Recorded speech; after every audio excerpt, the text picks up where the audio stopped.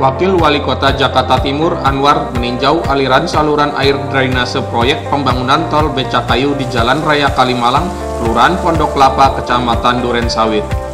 Peninjauan ini merupakan tindak lanjut atas keluhan masyarakat jika terjadi hujan deras kerap meluap hingga menimbulkan genangan setinggi 60 cm ke pemukiman warga di RT 05 RW 012 Kelurahan Pondok Kelapa.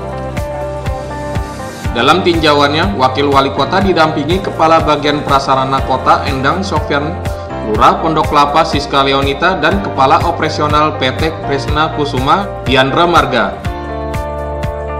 Wakil Wali Kota menjelaskan dari hasil peninjauan yang menyebabkan luapan air dari drainase tersebut adanya tumpukan sedimen hasil dari buangan limbah PT Waskita.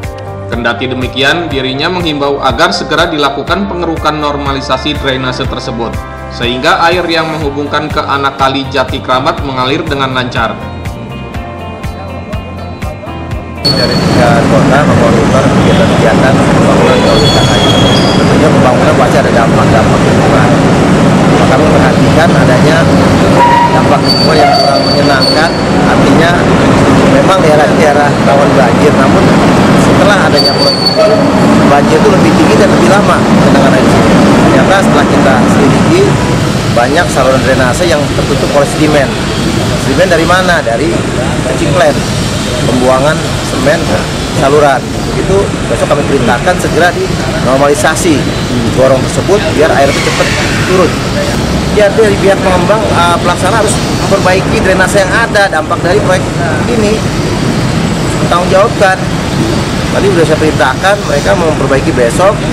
Saya minta Pak Lurah untuk memonitor, menyampaikan termasuk tumpukan-tumpukan sedimen tanah apa pasti ah, semen yang ada di depan proyek tadi sesuai dengan amdalnya aja. Jadi kita selalu mengingatkan, kita koordinasi, makanya saya sampaikan sering-sering kita monitor, turun ke lapangan, kita melihat sampai sejauh mana dampak dari pembangunan proyek ini.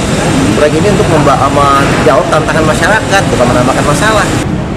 Ya sebetulnya masalah saluran atau buangan ya itu sebetulnya bukan dari bisa kayu aja, sebetulnya alam. Hanya saja karena ini ada pembangunan, jadi disangkakan nah kita padahal sebetulnya alam sendiri. Karena I-nya atau saluran sendiri itu udah kecil ya. Saluran alamnya kecil sehingga menampung debit apalagi sekarang intensitas hujan juga sudah tinggi.